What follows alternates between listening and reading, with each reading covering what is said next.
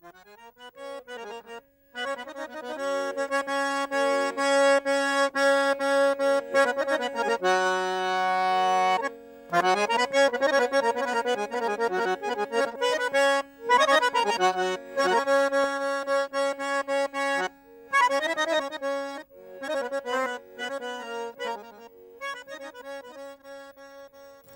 1949-cu ildə Ağdam rayonunda anadan olmuşam.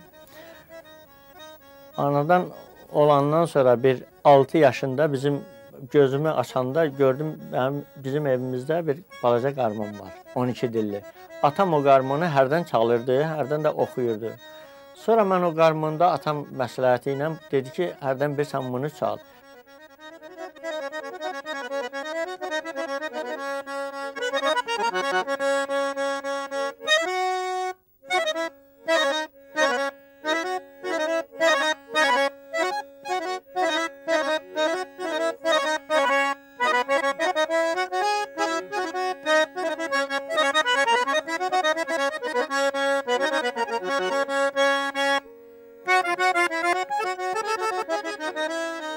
Atam getdi mənə 18 illi bir qazan qarman aldı. Sonra Ağdamda 5 nömrəli məktəbdə başladım hərdən bir konsertlərində çıxış elədim. Sonra 57-ci ildə bizim rayonda festival keçiriləsi oldu. Ona qədər də mən həm atamdan öyrənmişdim qarmon çalmağı, həm də ki anam müəyyən o qədim rəq mahnıları, rəqsləri ağzında çalırdı, oxuyurdu. Mən ondan öyrənmişdim. Həmən ərəfədə bizim məhəllədə gözəl toylar olurdu. Toylarda qarmon çalan Yelmar gözəl qarmon çalırdı. Mən hərdən gedib baxırdım, həmişə də oturdum qarmon çalanın arxasında. Belə-belə məndə qarmon çalmağa çox böyük həvəs yarandı. Ondan sonra atam gördü ki, mən biraz qarmona həm həvəsim var, həm də çalmağı bacarıram. Yusif müəllim adlı Xan Şuşinskinin keçmişdə qarmon çalanı olmuşdu. Dostu var idi. Yusuf Yusubov, Muxtaroğlu. Onun qardaşı da qarmon çalan olmuşdu, Abtalıb Yusubov. Hərdən atam o qarmon çalan Yusuf əmini qarmon çaldırardı, qulaq asardı. Yusuf əmi çox gözəl seyqahlar çalırdı. Bir günləri mənə dedi ki, bəlkə səni aparım, musiqi məktəbinə qoyum. Dedim, nə olar? Götürdü, məni apardı. Məni birinci sinifə qəbul elədilər. Elə oldu ki, atamın xəstəliyi ilə əlaqəli atam Bakıya köçdü getdi indi müəllimə pul aparmaq lazımdır. Onda da elə nəsə musiqi dərsi keçmək məktəbdə də pulla olurdu. Bir ay apardım, ikinci ay pul olmayanda Yusuf əmi dedi ki, Vaqif, bəs nətər oldu? Bəs pul niyə gətirmirsən?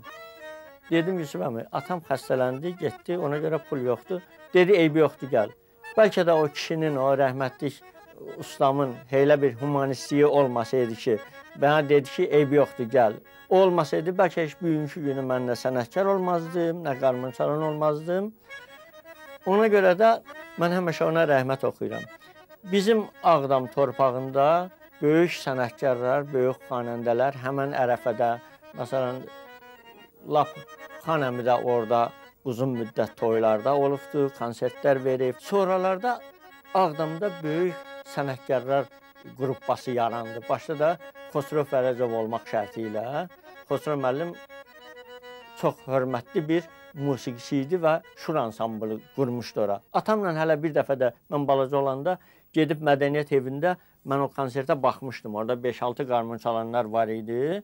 Bir də ansambl var idi. Xosrov müəllim də orada rəhbərlik eləyirdi.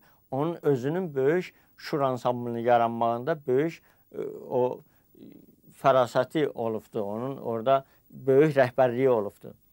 Sonra yavaş-yavaş mən qarmon çalgısını genişləndirmək üçün atam da Bakıda idi.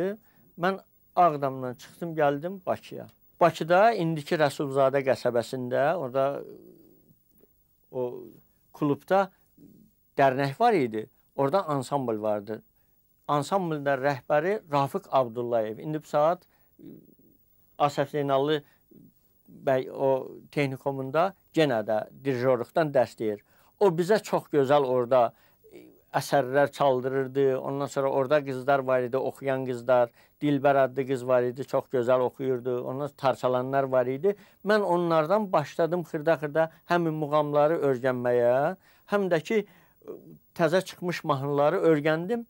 Elə oldu ki, zakaz qarmon aldım. Ondan sonra mən bir də təzədən məsləhət oldu ki, qayıtdım Ağdama. Ağdama qayıdandan sonra başladım 64-cü ildə toylara getməyə. Toylarda mən puxtələşdim.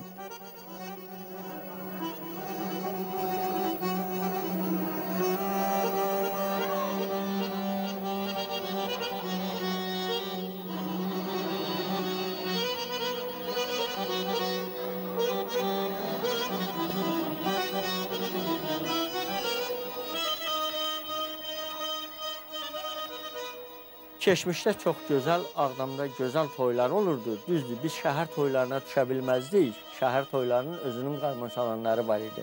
Məsələn, qarmon çalan Yelmar, qarmon çalan Yusuf əminin oğlu Fazil, qarmon çalan Ələm vardı orada və bunların çox gözəl qarmonları var idi ki, bu qarmonlar indi də antikvar kimi əgər tapılsa elə bir qarmonlar idi.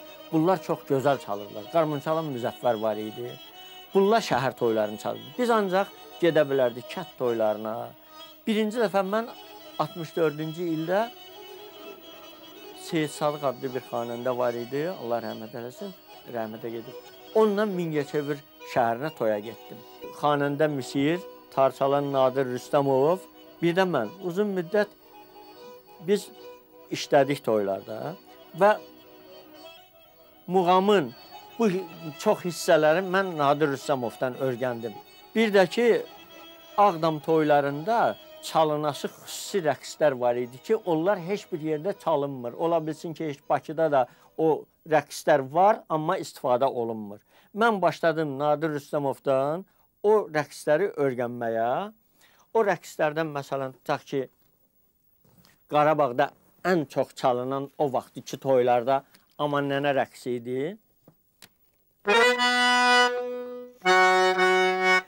bunu belə şəddə çalırdı.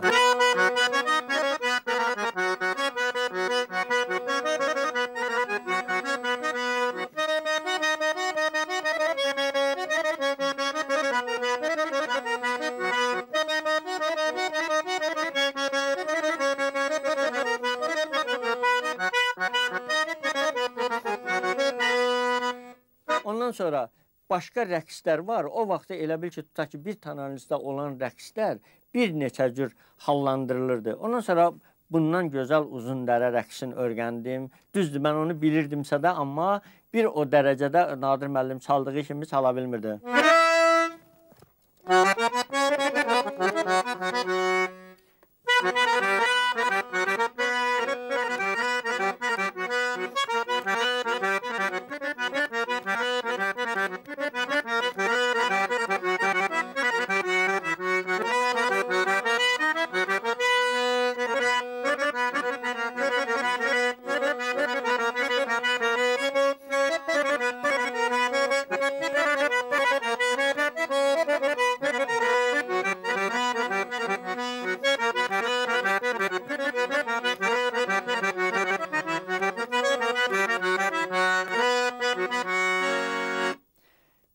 Nadir müəllimlə mən çox gözəl muğamları dəraməti ilə, rəngi ilə, ondan sonra onun diringiləri ilə çox gözəl o mənə hərdən deyir ki, belə danışırdı. Vaqif.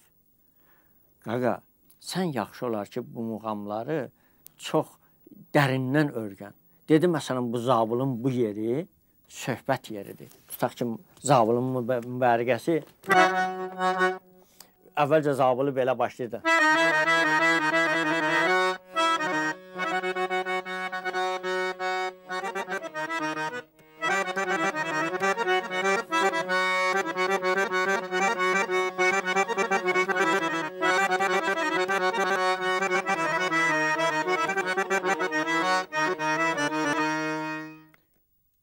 Deyirdi ki, özüdür. Bu da söhbət yerdə.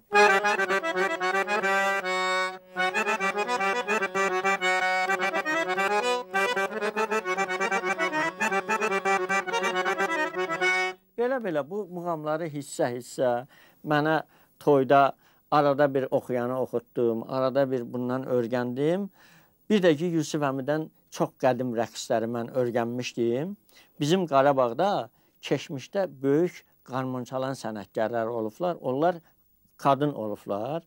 Biri Sona xanım, Abbasov Heydarın anası.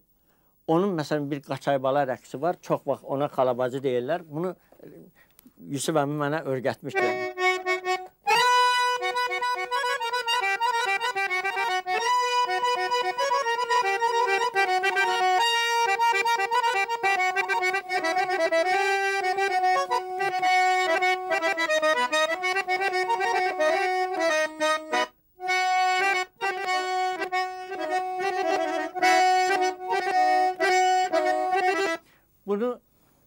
Mənim qoca nənəm danışardı ki, keçmişdə Sona xanım qarmonu götürürdü qucağına, çox gözəl ifa eləyirdi. Sonra bizim görmədiyimiz, amma Kamla bəyim var imiş, o qarmon çalandı. Qarmon çalan Fəxri var, Ağcabəddə yaşayır. Onun anası.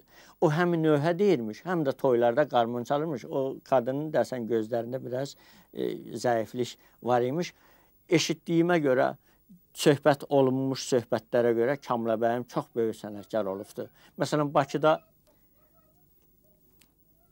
Bakıda Kübra xanım olub, Əbilova, amma Qarabağda da e, Kamla bəyim çox böyük sənətkar olubdu. Ondan sonra mən yavaş-yavaş həmi tar çalanlardan, həm qarmon çalanlardan, amma əsas mən azarkeşlik eləyirdim Bakıdan Teyif Dəmirovun Bir də ki, Məmmədağa Ağayevin radio çalğılarından qulaq asırdım. Məsələn, mən indi mən hesab eləyirəm ki, Teyyubu mənim kimi yadında saxlayan adam qalmayıbdı. Var idi o vaxtlar. Abbas Abbasov da var idi, Teyyub Dəmirov da var idi. Amma mən meyl elədim əsas Teyyub Dəmirovun çalğılarına. Ona görə ki, o əsas e, çalğının özəyi düzdür. Başlanğıcın Əhəd Əliyev başlayıbsa da, amma çalğının əsas Teyüp Dəmirovun çalgılarında çoxlu zapislər var. Bülbüllə də o vaxt elə o ansamblda o çalırdı. Amma Məmməd ağa çox gözəl ritmik rəqslər çalırdı. Mən məsələn Teybun bir dənə rəqsi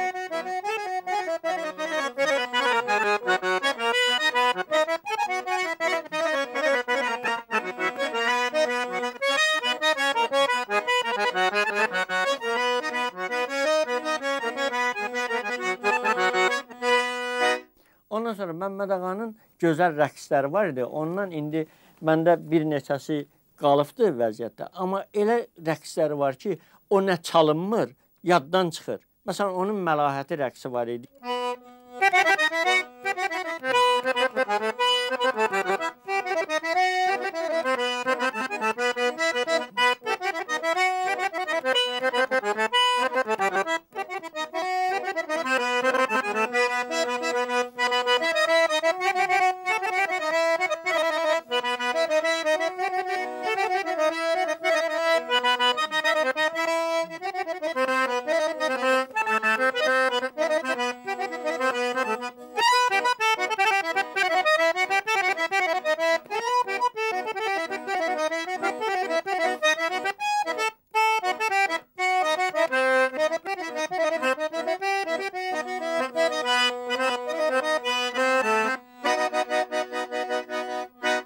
Günlərin bir günündə Şuşadan Xocalıya gəlin gətirməyə getdik.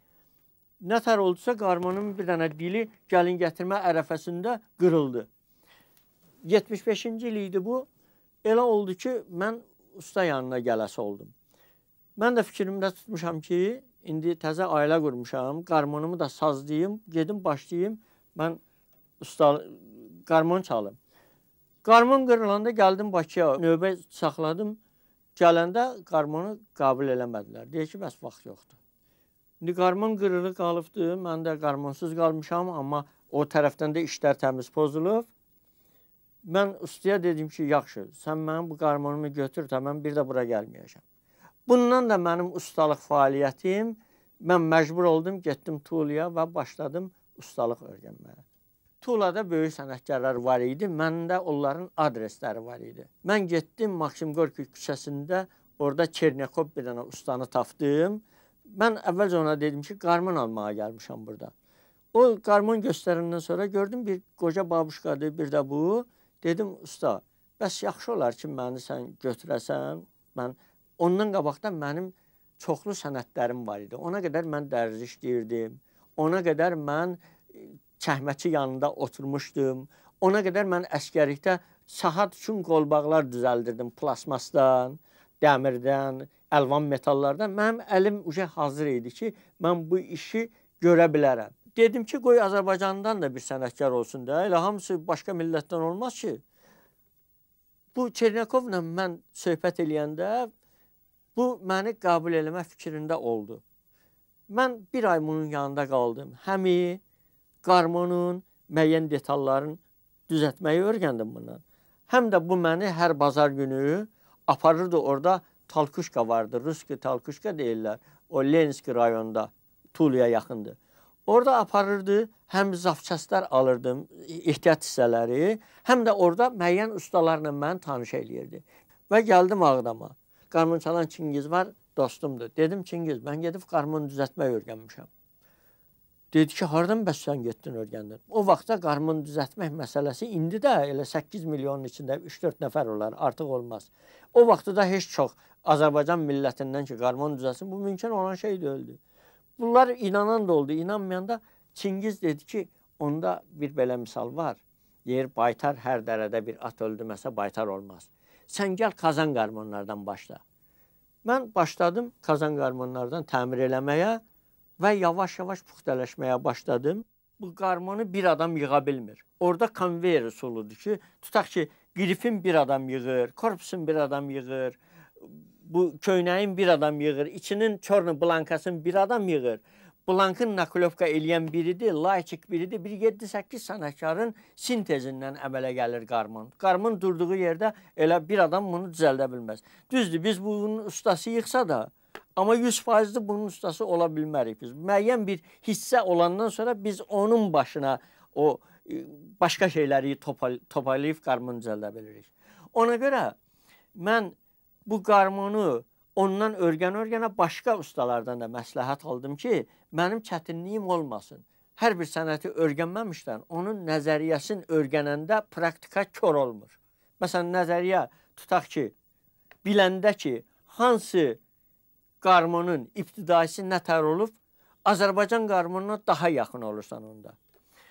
Ona görə mən başladım Belayevin kitablarından istifadə eləməyə, qarmonun yaranma tarixi nətərdir, onun istifadəsi nətərdir, onun blankları nətərdir, əvvəli nətər olub, belə-belə maraqlana-maraqlana məlum oldu ki, qarmonun ibtidaisi, məsələn, Almaniyadan bizə gəlib çıxmış. Bax bu dodaq qarmonu ilə başlayıbdı. 17-ci 1780-cı ildə tutaq ki, usta buruş deyim, bax birinci dəfə bu dodaq qarmonun düzəldibdi. Ancaq bunlar bir tərəfli çalırlar. Qarmon kimi hər iki tərəfə çalmır. Ona görə ki, ya nəfəs verəndə Nəfəs alanda başqa cür, nəfəs verəndə başqa cür. Sonra mən ustalığa başlayanda ki, bunun ibtidaisi bununla öyrəndim. Öyrənəndən sonra mən maraqlandım ki, bəs yaxşı bu Tulada nətər olub ki, bu qarmon gəlib Tula quberniyasında başlayıblar bunu düzəltməyə. Tula böyük bir sənətkarlar şəhəridir. Amma qarmonun Rusiyada başlanmağı Çerapavetskidən başlayıbdı. Çerapavetskidə bir tərəfli dörd səsli o Qarmonun şəkili spişka korovkalarında da olubdu. Mən bir dəfə görmüşəm. Dörd səsli çerpavetski qarmonlar olub. O həm balaca olub, həm də bir tərəfə çalıb, ancaq bir tərəfə. Məsələn, tutaq ki, belə çalırmış. Ta o bir tərəfə yox imiş. Yavaş-yavaş püxtələşə, püxtələşə Rusiyada başqa balaca 10 dilli, 12 dilli uje orada fərqinə varmayıblar ki, o folklor alətləri olub ki, məsələn, çastuşka qarmonları, ondan sonra balaca Saratovski qarmonlar əmələ gəlib və Tulski dvukhryatka qarmonlar olubdu. Bax, iki sıralı Tula qarmonları. Bax, düzdür, bunun üstünə Kuban yazılsa da, bunu Kubanda da çalıblar. O iki sıralı dvukhryatka deyirlər buna. Bu qarmonlar əmələ gəlibdi. Bu qarmonlar əmələ gələndən sonra sonra tatar qarmonları əmələ gəlib. Bu tatar qarmonlarından Azərbaycanda da istifadə eləyiblər. Məsələn, tutaq ki, keçmişdə xan əminin oxuduğu Zabulda xromatik qamma ilə o oxunmaqdan başqa onda pryamoy qarmonun əstirmə telləri ilə olan o səslər var ki, o nə çetverton deyil, nə bir şey, ancaq pryamoy qarmonların səsində alınmış o absolut usluxa daxil olan səslərdir ki, ancaq xan əmidə olubdu və heç kimdə ola bilməyəcək. Ona görə ki, o pryamoy qarmondan oxuyubdu. Deməli, belə-belə 25-ci ildə Əhəd Əliyev saz çalan imiş, həm də qarmon çalırmış. Gedib Karpuşkin, Arxiv Karpuşkin Stalingraddan bir nəfər gəlibdi Bakıya Basin 25-də dəsən, yoxsa 27-də hardasa orada olurmuş. Əhəd Əliyevlə qonşu. Bu gedib deyib ki, Qarpuşkin, yaxşı olar ki, sən mənə elə bir qarmon düzət ki, bizim tarkamançanın yanında oturmaq qabiliyyəti olsun bunun. Karpuşkin fikirləşib, unison kökdə, tutaq ki, 18 dənə sağ tərəfdə dili olsun, 18 dənə də sol tərəfdə Bir də ki, yarım tonları olsun. Buna akordionizirmini qarmonlar deyirlər. Akordion prinsipli qarmonlar. Ona görə ki, o vaxtı uje Almaniyada akordionlar var idi. Məsələn, akordionlar Almaniyada, Polşada, bir də İtaliyada. İtalyanski akordionlar var idi. Karpuşkin də usta, çox böyük usta imiş. Baxıb görübdü ki, Azərbaycana hansı kökdə lazımdır? Tarkamança həmişə si kökündə. Bax, məsələn, mən üzüyümdə elə bir kamerton var. Bu qarmonun birinci səsi, do səsidir ki, si kökü. Bu kökdə bir dənə qarmon başlayıb düzəldib, verib Əhəd Əliyevə. Əhəd Əliyev vallarda bir segah çalmışdı, dalınca da bir tiringi çalmışdı. O val bizdə var idi. Atam hərdən patifonda onu oxudurdu, mən də qulaq asırdım. Sonra Teyib Dəmirov Əhəd Əliyevdən öyrənib bu qarmonu və başlayıb bunu çox gözəl inkişaf elətdirməyə, ansamblın tərkibinə bunu daxil eləyiblər bu qarmonu. O vaxtı siz fikir verirsəniz, Teyib Dəmirov çalanda qarmonu, qarmon həmişə bu fason açılır. Bax, bu fason açılır. Aşağı tərəfdən açılır, yuxarı tərəfdən açılmır. Ona görə ki, qarmonlarda bu kəmər yox idi. Bax, bu kəmər Məmməd ağanın vaxtında oldu. Məmməd ağa çıxandan sonra. Qarmonların Yusuf əmin də qarmonunda, mənim müəllimin qarmonunda burada barmaqçıq var idi belə. İndi də rus qarmonlarının çoxunda var elə bir şey. Barmağı salırdılar belə qrifin dalından burada bağlanır barmaqçığa. Qarmonu ancaq belə çalırdılar. Ona görə qarmona güc verib bunu köynəyin hər tərəfli dartmaq, bu fason dartmaq mümkün deyildi. Belə. Belə. Ona görə Teyif Dəmirov mənə elə gəlir ki, həmişə çalanda qarmon aşağı tərəfdən açılır. Sonra Məmməd ağa ki, çıxanda ki, Məmməd ağa çox professional bir sənətkar idi və Teyyubdan qidalandı bu adam. Biraz da qarmonu müasirləşdirdi. Ondan sonra bu ustalar deyib ki, qarmona bir dənə sağ tərəfə bir qayış salsaq, yaxşı olar. Məmməd ağa götürdü bu qayışla çaldı, həm də qarmonun onda texnikası artdı. Bu barmaq qrifin dalından keçdi qrifin bu tərəfinə. Bu qarmonda ən vacib şərtdir. Amma sonralar professional e, akordeon çalgıları əmələ gələndə bu barmaq keçdi uje 5-ci barmaq kimi belə istifadə olunmağa. İndi hal-hazırda qarmonları çox adam, Maftandil, ondan sonra xanlar 5-ci barmağı da istifadə eləyib çalırlar. Ona görə ki, bu qayış imkan verir ki, qarmonun o imkanları artsın. Yoxsa bu olmasa, qayış olmasa bu mümkün deyil. O vaxtda xanəndələr məsələn zil qarmonlarla gedə bilmirdilər. Ona görə Karpuşkin həmişə qarmonları si kökündən biraz aşağı kökdə köhlüyürdü. Usta baxıb, kamertonla köhlüyüb, yoxlayıb, görübdü ki, Məmməd ağanın qarmonu si-dən aşağı kökdədir. Ona görə məsələn gedib 61-ci ildəki çıxmış kazan qarmonlar var. Zavodun strukturu nətər başlayıbdı. İndiyə qədər də kazan qarmonlar, yarım tonlu çıxmış qarmonlar Azərbaycan üçün nəzərdə tutulan ona Aziyatski qarmonlar deyirlər.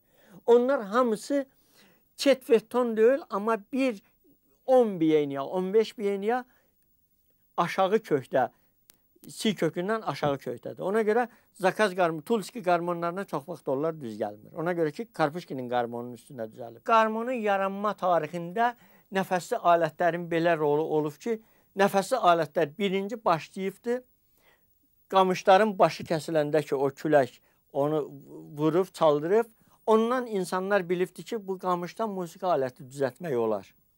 Ona görə götürüblər qamışdan birinci dəfə sümsü aləti düzəldiblər. Ondan sonra götürüblər tütəklər düzəldiblər. Məsələn, bu tütək şərq tütəyidir, bu da qərb tütəyidir. Bundan bu Xosrov Fərəcovun kolleksiyasındandır. Bunu papaq filmində istifadə olunmuş tütəkdir. Ən gözəl tütəklərdəndir. Bu tütəklər yaranmamışdan qabaq tulum zurnaları yaranıb ki, onda da qarmonun yaranma tarixində tulum zurnalarının böyük demək olar ki, köməyi olubdur. Əvvəlcə onu tulum zurnalarında bir qoyun dərisinəmi, keçi dərisinəmi havanı yığıb, sonra ora üfürüb, sonra oradan o tütəkləri o zurnaları çalırdılar. Sonra yavaş-yavaş inkişaf elətdirib bunu qutu şəklində qarmonun içinə yığıblar. Xalq musiqiləri getdikcə, puxtələşdikcə, məktəb şəklinə düşdükcə kamertonlar əmələ gəldi ki, məsələn, tutaq ki, bütün dünyada etalon götürülür, lə kökündə kamerton. U obrazlı kamerton deyirlər buna, u şəkilli. Bu kamertonları ancaq belə vurub qulağa eşidirlər və bunlar etalon şəklində götürüb. Ta ki bu kamertonla köhlənilmiş skripkamı, qarmonmu, pianinamı əsas. Bu köhlənəndə ya Amerikada çalındı, ya Rusiyada çalındı, ya da ki Azərbaycanda çalındı, eyni kökdür. Bu etalon götür. 440 kalibaneli lə kökü. Ondan sonra Leningrad firmaları boşlayıbdı. Düzdür, bu da dəqiq professionalli olmasa da bundan da istifadə olunur. Bu da qarmon şəklində olan kamertonlardır ki, bu formada olur. Və mən bunu mini forması üzükdə düzəltmişəm.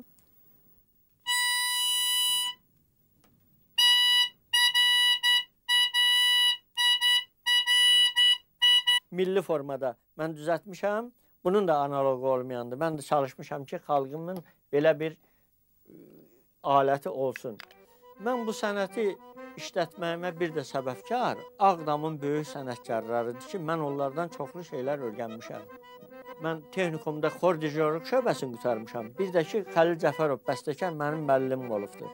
Sonra elə məsləhət biliblər ki, mən texnikumda dərs deyim. Mən həm dərs deyə-deyə sonra xahiş elədilər ki, pianinanın Ağdam Musiqi Texnikumunun piyandalarında sen köhləyəsən.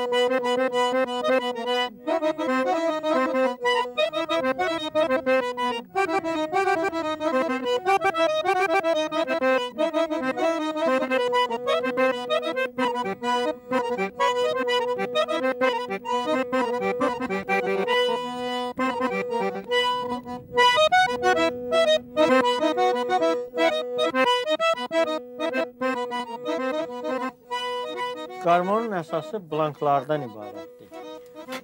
Blanklar olmasa qarmon alına bilməz. Ona görə ki, qarmonun çalan hissələri bax bu blanklardır ki, buna seksiyalı blanklar deyirlər.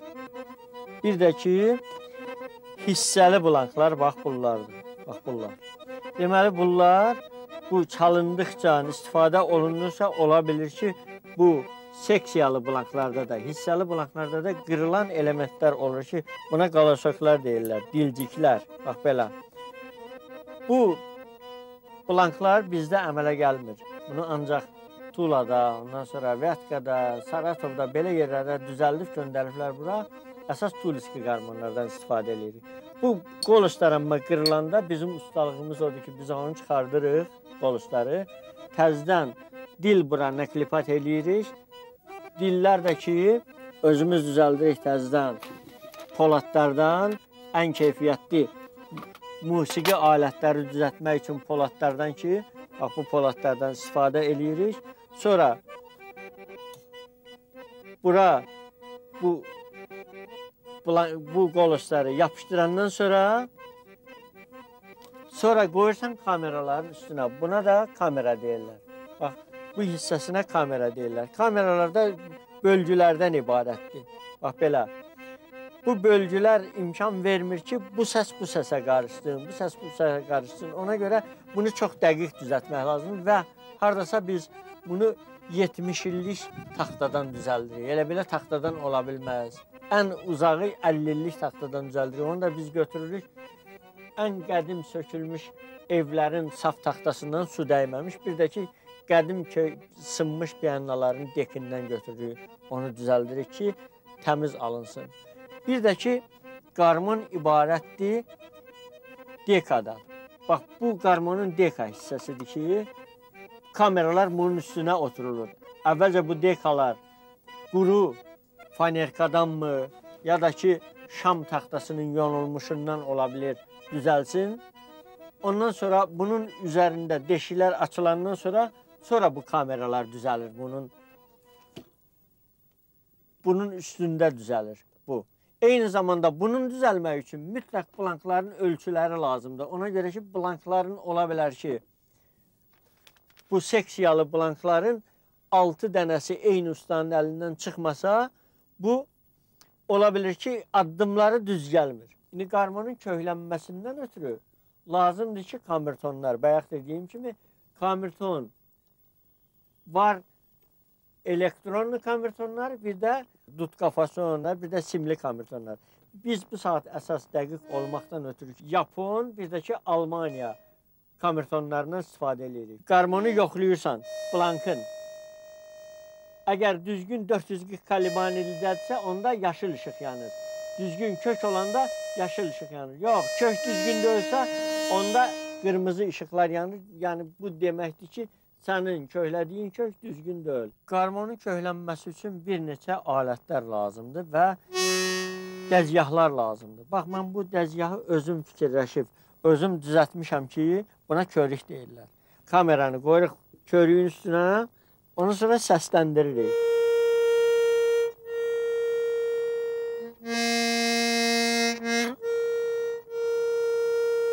Sonra blanka bax, baxırıq kamertona ki, görək kamerton orada bizə nə deyir? Deyir zildir, bəmdir.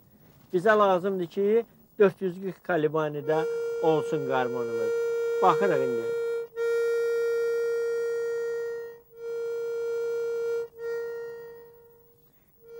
Ha vaxt yaşıl yanında ondan əl çəkirik. Ona görə biz onu köhlüyürük.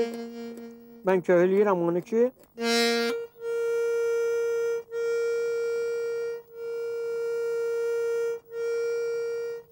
yaşıl olanda bilirəm ki, kök düzgündür. Qarmonun ən çətin hissələrindən və vacib hissələrindən biri olan bax bu köynək hissəsidir ki, bu çətin düzələn şeydir.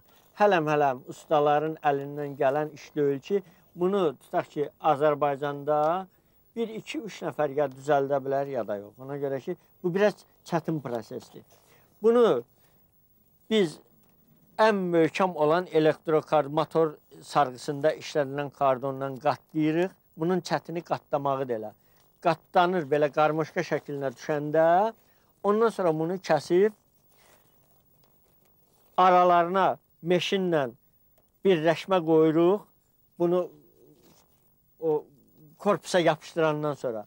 Ondan sonra başlıqları özümüz ştampdan çıxardıb başlıq düzəldirik və bu köynək halına salırıq.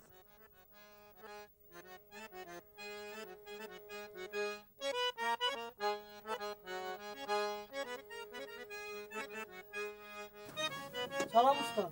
Salam. Necəsiz? Sağ olun, xoş gəlmisiniz. Sağ ol. Mənim usta Rəşid göndərib, qarmonum da nalsazdır. Bir dənə zəhmət olmasa baxar usta buna.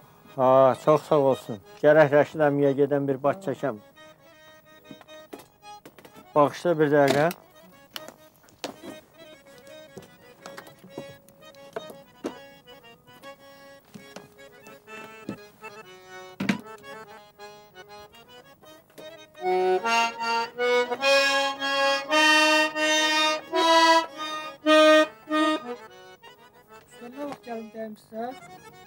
Allah qoysa 1-2 günə gəlib apararsan. Hə, biraz biraz işi var, hə, düzəltmək lazımdır.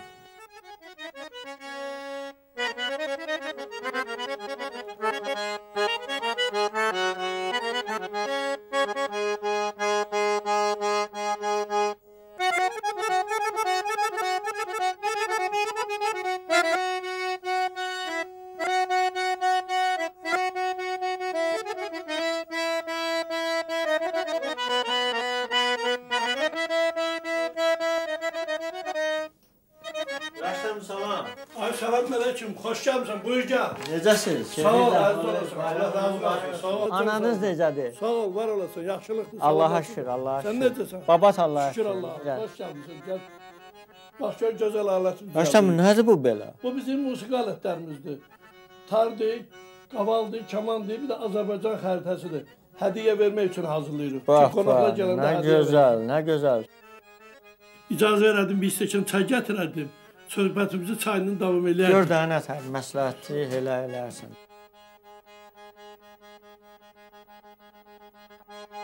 Hə, bəli. Ha, bax, bax, bax. Sənin çayından Allah yoxdur da. Allah səni salamat eləsin. Ya Allah. Hala, hala.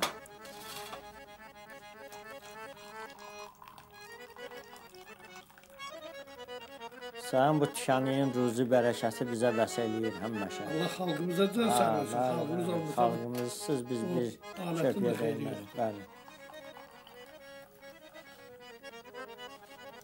söhbət elə görək nə var, nə yox, nə edir. Belədir də işləyirik, xırda-xırda işləyirik. Xalqı yo- yola veririk bitər. Xalq da bizi yola verir. Dolanırıq Allaha şükür.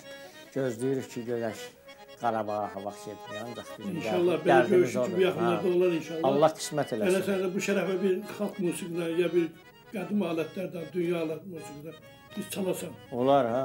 Baxın görün. Qarmon gətiriblər bir Bax gör nə qarmondur, nə tə qarmondur. Sən bunu sənətkarsan. Bu yaxşı olar. Sən Yox. səslə bir bax görək. Bu viatkadır.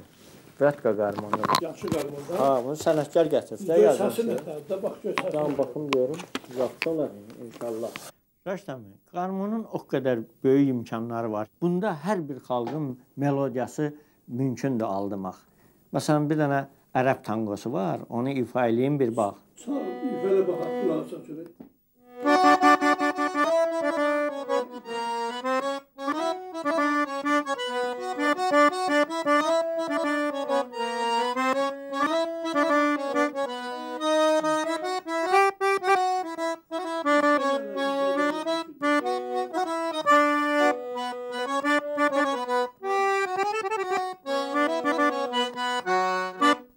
Tatar mahnısı var.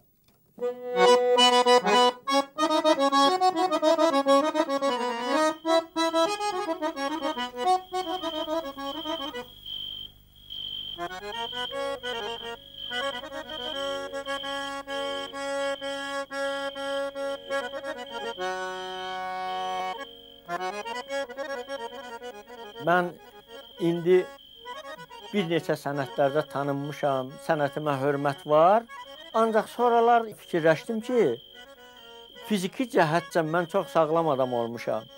Və mənim kimi sağlam olan insanlar birinci xalqı üçün nəsə eləməkdən ötürü hərbiçi olsun. Əgər biz bu sənətləri hobbi kimi, amma əsl sənətimiz hərbiçi olsaydı, biz nəsə xalqımıza şəxsən mənim özüm çox böyük xidmətlər eləmiş olardıq. Müharibə şəraiti yaransa ki, yenə də lazım gəlsə, çox da ki mənim 55 yaşım var, bugünkü günü də mən xalqıma hansı cəhətdən deyirsən kömək eləməliyəm ki, torpaqlarımız alınsın. Mənim 3 yaşında nəvəm var. Mən o uşağı həm istəyirəm ki, mənim sənətimi davam elətsin. Həm də ki, onu o səviyyədə hazırlayıram ki, o gələcəkdə əvvəlcə hərbiçi olsun. Ona görə ki, millətin dayağı hərbidir. Sonra laf qarmon çalmaq olsa da hərbidə qarmon çalsın.